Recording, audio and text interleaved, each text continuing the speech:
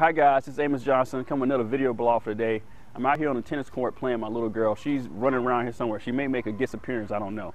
But anyway, today what I want to do is talk to you guys about how do you know if God calls you to do what he's called you to do, in business particularly.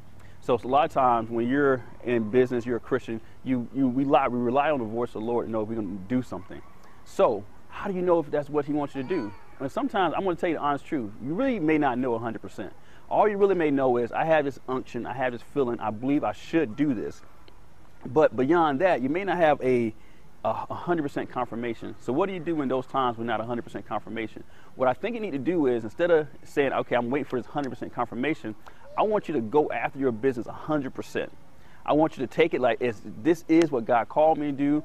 I'm going to remove all doubt and I'm going to go at it hard. And what's going to happen is, as you go after hard, God is going to honor your faithfulness to that. And if you did make a mistake, He may stop you a long way and say, hey, I didn't really say to do it that way. I want you to do it another way. Okay, here, here come prayer making her disappearance. So God may say, um, I didn't really tell you to do it this way, but I want you to do it another way. But because you went after hard, He's going to honor your faithfulness. Let's go slide, Daddy. Let's go yeah. slide. Yeah, we're going to go slide, babies. And so He's going to honor your your your. Ah, your, your, your Daddy, come on.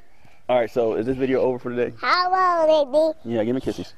Okay. All right. So, all right, guys. If this video is over for today, so I'll, I'll finish this maybe in an article or something. But just just go after hard. If God gives you a vision, just do it 100 percent.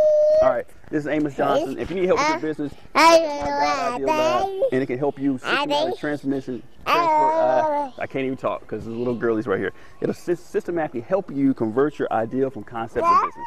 All right. Talk to you later. Say bye bye, Priya. Bye bye.